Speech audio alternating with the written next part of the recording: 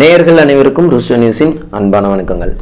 ஆளுங்கட்சியை சேர்ந்தவங்களை விட்டுட்டு எதிர்கட்சிக்காரங்களை ஜெயிக்க வச்சதுனால ஆளுங்கட்சிக்காரங்க தண்ணி கரண்ட் இதெல்லாம் கட் பண்ற மாதிரி காட்சிகளை சினிமாவில் பார்த்துருப்போம். ஆனா தஞ்சாவூர்ல உண்மையிலேயே அப்படிப்பட்ட ஒரு சம்பவம் நடந்திருக்குன்னு குறிப்பிட்டிருக்காங்க. அதை பத்தி தான் இந்த வீடியோவில் நம்ம பார்க்க போகிறோம்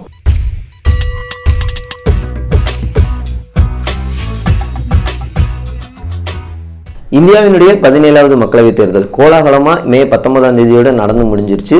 அதோட முடிவுகள் மே இருபத்தி மூணாம் தேதி அறிவிச்சாங்க. தமிழ்நாட்டை பொறுத்த வரைக்கும் பிஜேபி ஏடிஎம்கே கூட்டணி வந்து ஒரே ஒரு இடத்துல மட்டும்தான் ஜெயிச்சிருந்தாங்க. மீதி இருக்கக்கூடிய எல்லா இடங்கள்லையும் டிஎம்கே காங்கிரஸ் கூட்டணி தான் ரொம்பவே பெருசாக ஜெயிச்சிருக்காங்க இந்த தேர்தலை பொறுத்த வரைக்கும் தஞ்சாவூர்லேயும் விதிவிலக்கில் தஞ்சாவூர்லேயும் டிஎம்கே கூட்டணி தான் ஜெயிச்சிருக்கு. இருபத்தி மூணாம் தேதி ரிசல்ட் வந்து அன்னைக்கு நைட்ல இருந்தே தஞ்சாவூரை பொறுத்த வரைக்கும் பவர் கட் அப்படின்றது அடிக்கடி நடக்கிறதாவும் ஏடிஎம்கே சேர்ந்தவங்க தான் பழிவாங்கிறதுக்காக இப்படி பண்றாங்கன்னு மக்கள் பெரும்பாரியா சந்தேகத்தை உண்டு பண்ணியிருக்காங்க. வழக்கமா கோடை காலம் அப்படின்னாலே பவர் கட் அதிகமா இருக்கும். ஆனா இந்த கோடை காலத்தை பொறுத்த வரைக்கும் தஞ்சாவூர்ல பவர் கட் அந்த அளவுக்கு அதிகமா இல்லை. எப்பயோ ஒரு சில டைம்ல மட்டும்தான் பவர் கட் ஆயிருக்கதா குறிப்பிட்டிருக்காங்க.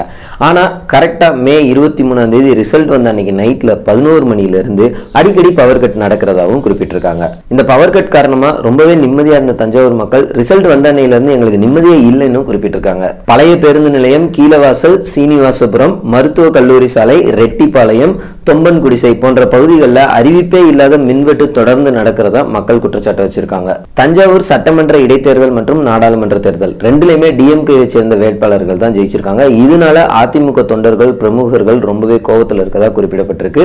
அது மட்டுமின்றி அதிமுகவில் ரொம்பவே அதிகாரத்தில் இருக்கக்கூடிய ஒருத்தருடைய கோட்டையாக தான் தஞ்சாவூர் இருந்திருக்கு.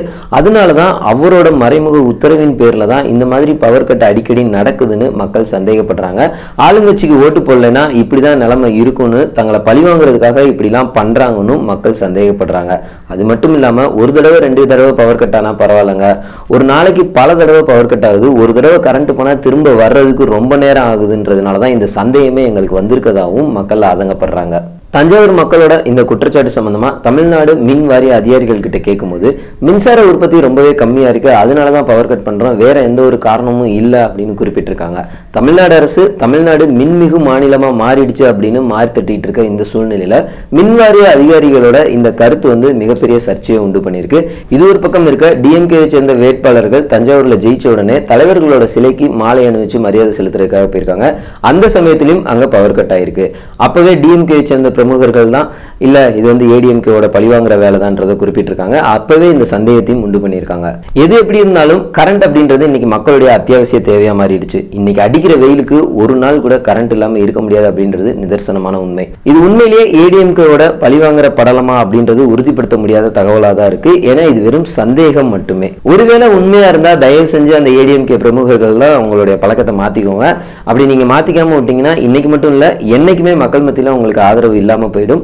மக்களோட அடிப்படை தேவைகளோட யாருமே தயவு செஞ்சு விளையாடாதீங்கன்ற கோரிக்கையை முன்வைத்துக் கொண்டு வேறொரு வீடியோவில் உங்களை சந்திக்கும் வரை உங்களிடமிருந்து விடைபெறுவது த ரோஸ்ட் நியூஸ் டீம் இந்த வீடியோ பற்றின கருத்துக்களை கமெண்ட்டில் பதிவு பண்ணுங்க. இந்த வீடியோ உங்களுக்கு பிடிச்சிருந்தா லைக் பண்ணுங்க ஷேர் பண்ணுங்க. த ரோஸ் நியூஸ் சேனலை சப்ஸ்கிரைப் பண்ணுங்கள் மறக்காமல் பெல் சிம்மில் பிரஸ் பண்ணுங்க. நன்றி வணக்கம்.